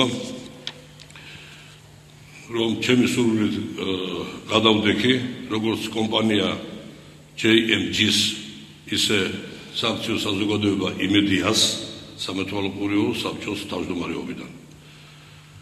აქ უკვე მე რა თქმა უნდა საბოლოოდ დავწუნდი რომ საქმე იყო გაცილებით რთულად ვიდრე ეს მე შემეძლო წარმომედგინა. ვიტყვი მოკლედ. ჩემს მიმართ გამოყენებული იყო ფსიქოლოგიური ზემოქმედების უხეში ფორმები. 4-5 საათის შემდეგ ანუ დაახლოებით დილის 6 საათზე მე იზოლებული ვიყავი ხელი მომეწერა ორივე ზემოთაღნიშნული განცხადებისათვის ბადრი პატარკაციშვილის ყოფილ ბიზნეს პარტნიორს პრესკონფერენციაზე არ დაუსახელებია იმ ძალოვანი უწყების მაღალჩინოსანთა სახელები და გვარები, რომლებიც ბიზნესმენისთვის იმედის წართმევით იყვნენ დაინტერესებულნი. თუმცა ნიუ-იორკის სასამართლოსთვის მიცემული ჩვენებებიდან ირკვევა, რომ ჯაოშვილზე ფსიქოლოგიურ და ფიზიკურ ზეწოლას შინაგან საქმეთა სამინისტროს კონსტიტუციური უსაფრთხოების დეპარტამენტის, საქართველოს თავდაცვის სამინისტროს, ფინანსური პოლიციისა და გენერალური პროკურატურის თანამშრომლები ახორციელებდნენ. ჯაოშვილის აღიარებას ამ დრომდე ელოდა ბადრი პატარკაციშვილის ოჯახიც. გარდაცვლილი ბიზნესმენის და მზია თოთლაძე ამბობს, რომ ჯაოშვილს დღემდე ამ განცხადების გაკეთების ეშინოდა. ამ აღიარების შემდეგ კი ოჯახი რწმუნდება, რომ იმედი მათ არა ჯოზეფ კეიმ, არამედ საქართველოს ხელისუფლებამ წაართვა. ეს იყო ეთყობა ძალიან დიდი ხნის წინ დაგეგმილი და ამაში ალბათ რა ვიცი, ყველა დამერწმუნება, იმიტომ რომ იცით რაშია საქმე, როცა ადამიანი ჩამოდის ადამიანის გარდაცვალების რაღაცა მესამე მეოთხე დღეს და ხელისუფლებასთან ახერხებს შეხვედრას დამერწმუნებით, რომ ეს არ იქნე არ იქნებოდა. ის, რომ თქვათ მე მინდა დღეს პრეზიდენტს შევხვდე და დღესვე მოახერხო ეს. და დღეს რომ იმას იმეორებენ ყოველ წუთში ხელისუფლების წარმომადგენლები, რომ ეს იყო ოჯახური დავა და ეს დღემდე გრძელდება როგორც ოჯახური დავა მე მინდა გითხრათ და ეს უარყო რადგან ოჯახი ვართ ჩვენ ბადრის ცოლი მეუღლე შვილები დედა დები და თუნდაც აი ეს დიდი ოჯახი და არა ჯოზეფ კეი. ჯოზეფ კეი ჩვენი ოჯახის წევრი არ არის. ბადრი პატარკაციშვილის ქრივის ინაგუდავადის ინტერესებს ბრიტანეთის ყოფილი გენერალური პროკურორი ლორდი პიტერ გოლდსმიტი იცავს მასთან ინტერვიუ კვირის რეპორტაჟმა პატარკაციშვილების კუთვნილ სახლში ოქროყანაში ჩაწერა. ჯაუშვილის განცხადების შემდეგ ბრიტანელი ადვოკატი ფიქრობს, რომ იმედის დაბრუნებამდე სულ ცოტა დრო რჩება და საქართველოს ხელისუფლების წინააღმდეგ სარჩელს ამზადებს. Mr. Georgi Jaushvili გიორგი ჯაოშუნმა ეს ყველაფერი ტელეკამერებისა და ჟურნალისტების თანდასწრებით განაცხადა. მან დაადასტურა, რომ აქციები საკუთარი სურვილით არ დაუთმია. და რომ ამ ყველაფერში ჩარეული იყო ხელისუფლება. იგი მზად არის თავისი ჩვენება ნებისმიერ საერთაშორისო სასამართლოში გაიმეოროს. ჯაუშვილი მოყვება რა მოხდა სინამდვილეში. საერთაშორისო სასამართლოში სარჩელი მხოლოდ საქართველოს წინააღმდეგ არ მზადდება. სასამართლოში მისვლა მოუწევს თავად ჯოზეფ კეისას. მას ბადრი პატარკაციშვილის ოჯახი იმ საბუთების გაყალბებაში ადანაშაულებს, რომლის საფუძველზეც ქეიმ თითქოს გარდაცვლილი ბიზნესმენის ანდერძის აღმსრულებლისა და ქონების გამკარგავის უფლება მიიღო. ამ ყველაფრის დასასრული იქნება სამართლიანობა, სამართალი და სიმართლე საბოლოოდ გამოიმარჯვებს. დოკუმენტაცია რომ გაყალბებულია ამას ოჯახი დამოუკიდებელი ექსპერტიზის საშუალებით ამტკიცებს. დოკუმენტაცია ამერიკის შეერთებული შტატების ერთ-ერთმა გავლენიანმა ექსპერტმა სასამართლო დოკუმენტაციის სფეროში გაზ ლესნევიჩმა შეისწავლა. ლესნევიჩი 25 წლის განმავლობაში საიდუმლო სამსახურისა და შეერთებული შტატების არმიის უფროსი ექსპერტი იყო. მის დასკვნაში წერია, რომ კეისმიერ საკუთრების გამკარგავად დანიშნვის დოკუმენტაცია და მასზე არსებული პატარკაციშვილის ხელმოწერა გაყალბებულია. იმედის ამჟამინდელი მფლობელი ჯოზეფ კეი ჯაოშვილისა და ბადრი პატარკაციშვილის ოჯახის წევრთა განცხადებებს არ პასუხობს. კომენტარს მისი ადვოკატი დავით ასათიანი აკეთებს და ჯაუშვილისა და ბადრი პატარკაციშვილის ოჯახის არგუმენტებს აბსურდულს უწოდებს. დავით ასათიანს უკვირს რომ გოგი ჯაუშვილის ზეწოლა არ უხსენებია წინაჩვენებებში, რომელიც მან თავის დროზე ჯოზეფ კეისა და ინა გუდავადის ადვოკატებს მისცა. ბატონი ჯაუშვილი, ოდესაც საქმე ეხება კონკრეტულად აქციათა ბატონი კეიზე გადაფორმების ფაქტს. არსად საუბარი ამ დროს არ არის რაიმე სახის იძულებაზე, ფსიქოლოგიურზე თუ ფიზიკურზე და ძალადობაზე ამ პერიოდში. ბატონი ჯაოშვილი მიუთითებს, რომ მან იცოდა რა, რომ ბატონი კეი იყო ბატონი პატარკაციშვილის უახლოესი პიროვნება, მისი ნათესავი და ბიზნესში, ბიზნეს ურთიერთობებში ძალიან დიდი ნდობით აღჭურვილი პიროვნება, მას არც შეპარვია ეჭვი, რომ ბატონ პატარკაციშვილს შეეძლო ბატონი კეი დაენიშნა ანდერძის აღსრულებლად. ეს კაფიოდარი ამ ჩვენებაში ასახულდა. ეს ერთი. მას აგრეთვე არ გაჩენია ეჭვი, რომ ბატონ პატარკაციშვილს შეეძლო და განახორციელა კიდევაც გამოეყენებინა ბატონი კეი როგორც მედიატორი გარკვეულად მომლაპარაკებელი მისი პრობლემების დასარეგულირებლად. ესეც ბატონ ჯავაშვილს მკაფიოდ აქვს აღნიშნული აღნიშნულ ჩვენებაში. ასათიანი იმ დოკუმენტაციის შესახებაც საუბრობს, რომელიც პატარკაციშვილის ოჯახის მტკიცებით გაყალბებულია. კეის ინტერესების დამცველი აცხადებს, რომ ექსპერტიზა თავადაც ჩაატარეს და განსხვავებული პასუხები მიიღეს. ჯოზეფ კეის მხარისთვის ასევე მიუღებელია გიორგი ჯაოშვილის არგუმენტი, რომ მისი თანამდებობიდან გადაყენება ხელისუფლებას იმედის მენეჯმენტის შესასვლელად და ტელეკომპანიის საინფორმაციო პოლიტიკის სამართავად სჭირდებოდა. შეიცვალა თუ არა არხის საინფორმაციო პოლიტიკა მფლობელის შეცვლის შემდეგ. ამაში ეჭვი არ ეპარება საქართველოს სახალხო დამცველს. იმედის საკითხი სოზარ სუბარის ანგარიშებსა და მოხსენებებში ბოლო 1 წლის განმავლობაში უცვლელი თემაა. უწყებების მიხედვით არ ამგონია აქ რამე ინტერესი იყოს ლაპარაკი, იმიტომ რომ ზოგადად იმეთი იყო ხელისუფლების ინტერესი ვერტიკალს გულისხმობ ქლიან და მაშინ ცხადია პირველ რიგში პრეზიდენტი მოიაზრება მიხეილ სააგაშვილი. ეხლა როდესაც იქ ლაპარაკი არის რამე სეწოლაზე ან კონტროლზე, როდესაც გენერალურ დირექტორად ინიშნება ალეკო ფარულავა, ეხლა იქ უკვე რამე დამატებითი ცენზურა საჭირო არ არის, იმიტომ რომ ალეკო ფარულავა პირდაპირ ასრულებს ვანო მერაბიშვილის შეგვეთებს.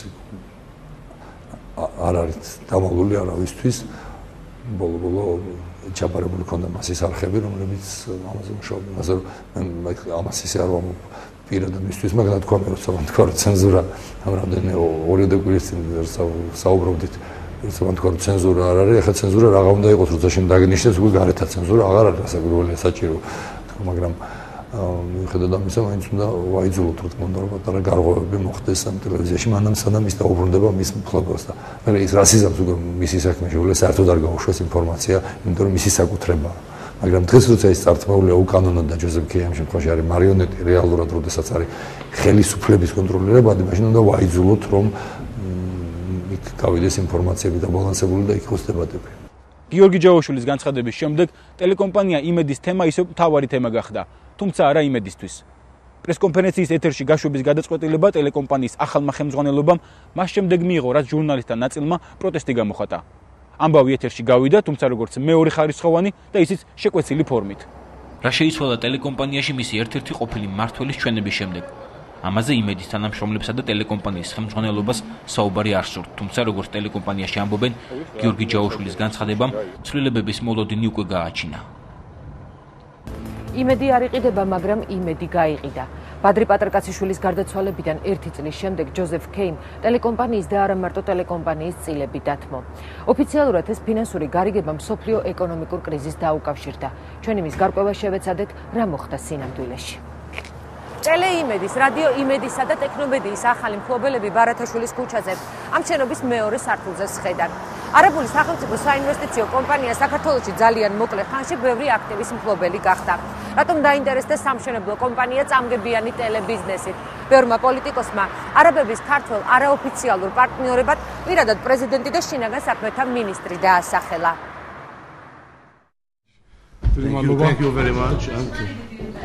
Uh, this is uh, this is not for this is confidential uh, right in this moment. At this moment, it is confidential. Yeah. Maybe uh, next uh, interview we could tell you uh, what we need.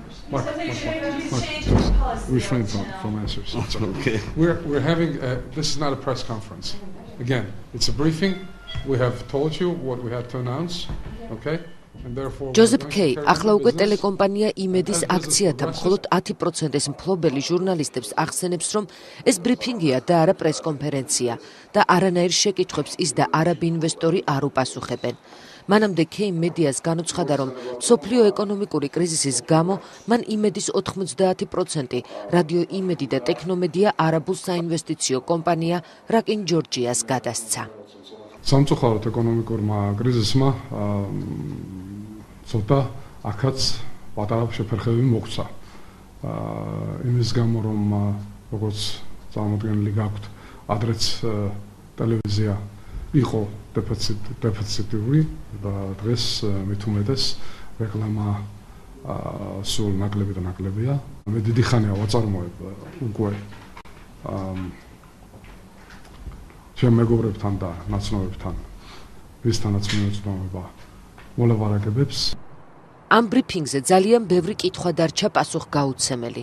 მაგალითად, რატომ არჩია ჯოზეფ კეიმ არაბები მსოფლიო ტელემაგნატ ნიუსკორპს, რომელსაც სულ რაღაც ერთი წლის წინ იმედის მართვის უფლება ჰქონდა და რომელიც კეიმ თაღლითობის ბრალდებით გააძევა კომპანიიდან. ამ კითხვას კვირის რეპორტაჟთან უკვე მისი წარმომადგენელი პასუხობს.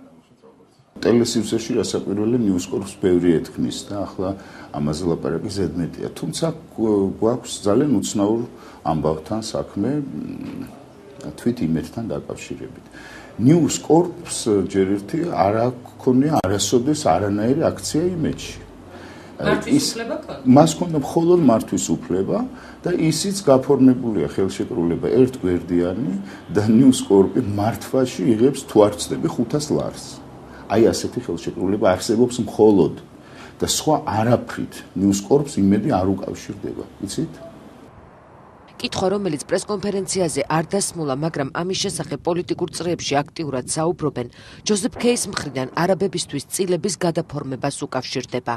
არსებობს ინფორმაცია, რომ ამ პროცესში აქტიურად იყო ჩართული ძალოვანი უწყება და კეის უბრალოდ ამის გაკეთება აიძულეს. ეს ფაქტი ჯოზეფ კეის წარმომადგენლობამ არ დაადასტურა. არა, არ შემიძლია დაადასტურა. ასეთი რამ არ ვწმენია.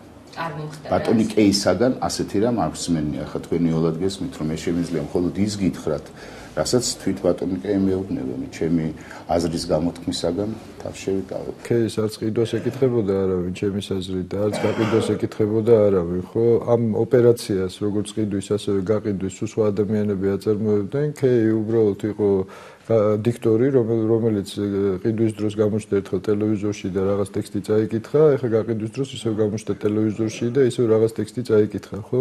პრინციპში ის არც არასოდეს არ აკონტროლებდა ამ ტელევიზიას, მიიღეს კანონი თავისუფალ ეკონომიკური ზონების შესახებ, მერე ჩამოიყვანეს რაკინი, გადასცეს რაკინს ფოთის პორტის მიმდებარე ტერიტორია მექვედელობაში, მე დაგვი პრეზიდენტიდან დაწყებული მთელი ხელისუფლება ძალიან დიდ მასშტაბურ PR კამპანიას აწარმოებდა, როგორ ააყვავებს რაკინი საქართველოს და ეს ეკონომიკური ზონები როგორ დაასაქმებენ ათეულათასობით ადამიანს და ჩვენ ნახეთ რომ რამდენიმე წელი გავიდა მას შემდეგ და სერიოზული სერიოზული ნაბიჯი არ გადადგმულა ფოთის მიმართულებაზე ვინ არის რაკინ ჯორჯია, რომელიც იმედის აქციათა 90%-ის მფლობელი გახდა. არაბი ინვესტორები ფლობენ ასევე შერატონ მეტეხი პალას, სახალხო ბანკს, აშენებენ აპდაუნ თბილის. 59 წლიანი იჯარით სწორედ მათ ხელშია მთაწმინდის პარკიც, მაგრამ ეს მათი აქტივების სრული ჩამონათვალი არაა.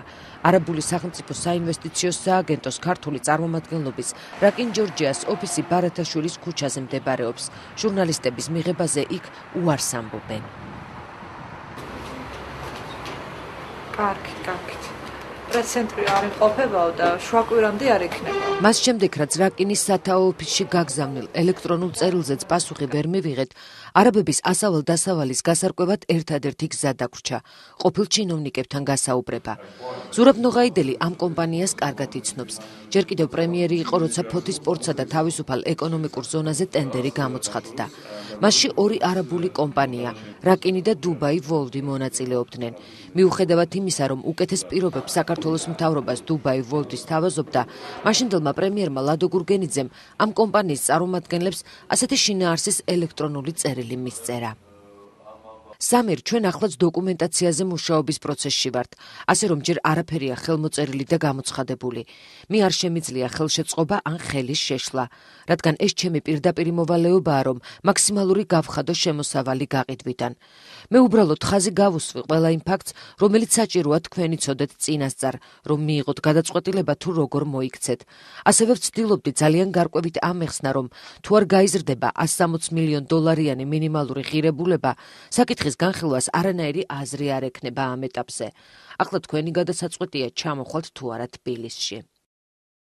მაშინ ეს ლადო გურგენიძის თვით შემოქმედება მეგონა და აღშფოთებული მივედი პრეზიდენტთან მე ამ დროს ვთქვათ კერძო ბიზნესში ვარ სადაც 2008 წლის დასაწყისი და აღშფოთებულმა უთხარი რომ რა ხდება რასაკეთებს შენი მთავრობა შენი პრემიერ-მინისტრი იმ დროს როცა დუბაი ვოლდის წინააღმდება უფრო უკეთესია სინამდვილეში თავისუფალ ეკონომიკურ ზონას და ფოთის სპორტს რა კი ასაძლევებ მეთქი და მან დაბაწყნარა, რასაც ქვია. არავის დუბაი ბოდიო კიაო შეიძლება უფრო გამოცდილიო, მაგრამ რა იციო, როდის გავლენ შეიძლება პროექტი ბოლომდე არ მიიყვანონ და რა კი ასთან ჩვენ ისეთი ურთიერთობები გვაქვს, ესენი ამ პროექტს აუცილებლად ბოლომდე მიიყვანება. წერილიდან ჩანს, რომ გურგენიძე დუბაი ვოლტს თანხის გაზრდას თავაზობს. წინააღმდეგ შემთხვევაში კი ეუბნება, რომ ტენდერში მათ მონაწილეობას აზრი არ აქვს. საბოლოოდ ფოთისპორტის 51% საქართველოს მთავრობამ რაკენს 90 მილიონად მიყიდა. 2008 წლის დეკემბერში კი დანარჩენი 59%-ით 65 მილიონად გადასცეს. უბრალო არითმეტიკაა საკმარისი იმის გასარკვევად, რომ რაკინთან გარიგებით საქართველოს მთავრობას 160 მილიონი არ მიუღია. ჯოზეფ კეის პრესკონფერენციით თავრობამ გააკეთა თვითილუსტრაცია სააკაშვილმა და მერაბიშვილმა გვითხრა ქართულ ხალხს რომ იცით რა ჩვენ ამ საქმის პარტნიორები ვართ და აქ არაფერი არ შეგეშალოთ არსებობს თუ არა კავშირი რაკინს და საქართველოს ხელისუფლების პირველ პირებს შორის და არიან თუ არა ისინი მართლაც არაბების არაოფიციალური ბიზნეს პარტნიორები. ამისთვის ჩვენ ერთ მაგალითს მოგიყვებით, როგორ დაათმობინეს სახალხო ბანკის მეპატრონეებს აქციათა 75%-ზე მეტი, როგორც საბოლოოდ აღმოჩნდა სწორედ რაკინის სასარგებლოდ. ამ აქციის მფლობელთან გარდაცვლილი ბიზნესმენის მამუკა ჯინჭარაძის მეუღლესთან ეგრეთ წოდებული მოლაპარაკება ხელისუფლებისთვის უკვე ჩვეული მეთოდით წარიმართა. ეს ეს იყო ზეწოლა, ეს იყო ვთქვათ დაბარება, დამუქრება, შესაბამისად კონტრაქტი აი დღეს თუ არ გააკეთებ ამას, ხვალ კიდე უფრო ვარისად იქნება შენი საქმე. ბუნებრივია რომ ეს მოხდა ბანო მერაბიშვილის მითითებით. ეს ეს ეს ყოველასთვის ძალიან ნათელია. რომ ევროოილის ფორმალური მეპატრონე სწორედ რაგია ყოფილა თურმე. ანუ საბოლოო ჯამში გასაგებია რომ ევროოილის მეპატრონეებიც თანამეპატრონეები როგორც მინიმუმ მიხეილ სააკაშვილი და ვანო მერაბიშვილი არიან. გადაფორმების შემდეგ სახალხო ბანკის აქციათა მფლობელი ევროოილი გახდა. მისი ფორმალური მეპატრონე კი რაკენია. ევროოილის არაოფიციალური მფლობელები კვირის რეპორტაჟის წყაროს ცნობით დეპუტატი გოგი ლიპარტელიანი და ვინმე ლევან კაპანაძე არიან. ლევან კაპანაძე ვანო მერაბიშვილის მეგობარია და ის ერთ-ერთია მათ შორის, ვისი მეშვეობითაც პირველი პოლიციელი სავარაუდოდ არაბების ბიზნეს პარტნიორობას ახერხებს. იმედთან დაკავშირებითაც ანალოგიური სქემა ამოქმედდა. ამას რუსეთში საქართველოს ყოფილი ელჩიც ადასტურებს. ეროსი კიცმარიშვილიც დარწმუნებულია, რომ არაბების არაფორმალური პარტნიორები საქართველოს ხელისუფლების პირველი პირები არიან. და თან ეს ისტორია უკვე დიდი ხანია ხალხში მუსირებდა, რომ თურმე კეზერაშვილი მონაწილეობდა ამ გადაფორმების ასპექტებში. ანუ ფაქტობრივად ეს ერთვის წინანდელი ფაქტი, უბრალოდ დაელოდნენ სასამართლოს და მეორე დღეს ანუ იმდენად ეჩქარებათ, იმდენად ეჩქარებათ ამის ესე ვთქვათ, გათეთრება ვითომ ვითომ უცხოელებზე გადაცემა, რომ აი ესეთ ესეთ ნაბიჯებს დგავენ და ეს არის ძალიან სერიოზული დარტყმა იმისკენ მიმართული საქართველოსში აი ამ ეკონომიკური დახმარებისაკენ, საერთაშორისო მხარდაჭერისაკენ. და ეს არ არის მარტო ტელევიზიის კონტროლზე ლაპარაკი, აქ ლაპარაკია იმაზე, რომ ფაქტიურად დარტყმის ქვეშ ვაყენებ ძალიან ბევრ პერსპექტივას საქართველოს. რუსთავიერის ყოფილ მფლობელს, რომელიც აღიარებს, რომ იმედის პატრიოტი არასოდეს ყოფილა, ამ ტელეკომპანიის გაყიდვის შემდეგ პროტესტის გამოხატვის სურვილი გაუჩნდა და იგივეს გაკეთებას მთელ სამოქალაქო საზოგადოებას ურჩევს. ეს არ არის ზოგადად ხელისუფლებისაგან კონტროლებადი, მე ვფიქრობ ეს არის შინაგან საქმეთა სამინისტროსაგან კონტროლებადი და მე შემიძლია ძალიან დარწმუნებით ვთქვა, რომ ეს არის ბიზნესი, რომელიც პირდაპირ უკავშირდება ვანო მერაბიშვილს და პირდაპირ უკავშირდება მის გარემოწვას. და ბატონო ზურაბ ადეიშვილო, თუ არ შეწუხდებით, თუ თქვენ დრო, ესე ვთქვა, ქუთაისისა და სიღნაღის აღორძინება შორის გრჩება თან ბიზნესის გაწეწვების, ესე ვთქვა, ირგვლივ შუამავლის ფუნქციებს შორის გრჩებათ, აი ამ თემაზე მიიღოთ ჩემგან პირდაპირ ღიად, რომ ეს არის გამოსაძიებელი საკითხი. აღიძრას უნდა ამაზე სისხლის სამართლის საქმე. არ შეიძლება გავჩუნდი, გავიარ. ეს ბრექში ქალაქი რო გახსნა. ბადრი პატარკაციშვილის ოჯახმა იმედის გაყიდვის შესახებ ტელევიზიით შეიტყო. ნათელა პატარკაციშვილი ამ დღეს 12 თებერვალს შვილის გარდაცვალების წუთებს ადარებს. იხსენებს ჯოზეფ კეის, იგივე სოსო კაკალაშვილის ვიზიტსაც. როდესაც ბადრი დავასაფლავეთ 28-ში 29 იყო თუ 30 ზუსტად ვერ გეტყვით დილით მოვიდა ჩემთან ეს სოსო და მეუნება ნათელდეიდაო ძალიან გთხოვ ჩემზე ნაწყენი არ დარჩეო. მე მე ვთხარ რატო შვილო რა მოხდა რატო უნდა დარჩე მე ჯერ არაფერი არ ვიცი შვილო გარკვეული არა ვარ რა მოხდა ჩემ შვილის ირგვლე. ხო და რატო რა უნდა მეწყინოს მეთქი და მე რო იმედი არ გადამეცაო მეო სააკაშვილი თავს მოაჭრიდაო და აგრეთვე თქვენს საშიშროების ქვეშ იყავით. იმეც დაწმინდას და ამ ჩვენი შვილის ფონდს არავითარ შემთხვევაში არ დავუთმობთ არაფერს არავის. ნამდვილად სიკვდილის კარამდე აი მე პირადად 75 წლის ხალი ვაცხადებ რა სიკვდილის კარამდე მივალ და ამას არ გავაკეთებთ. ნათელა პატარკაციშვილი გვეუბნება რომ იმედისთვის ბრძოლას გააგრძელებენ. მათ წინ კიდევ ბევრი საერთაშორისო სასამართლო აქვთ მორიქ საეჭვო ფინანსურ გარიგებაზე კი ჯერჯერობით საზოგადოებას ხმამაღალი პროტესტი არ გამოუთქვამს. პოლიტიკური პარტიებიც მხოლოდ განცხადებებით შემოიფარგლნენ. მომავალში ალბათ არც ის გაუკვირდება ვინმეს დეველოპერული არაბული კომპანია პროფილს კიდევ ერთხელ თუ შეიცვლის და მსოფლიო ეკონომიკური კრიზისისგან ამჯერად მეორე ქართულ ტელეკომპანიას, მაგალითად რუსთავი ორს იხსნის და მის აქციებსაც შეიძენს. Thank you.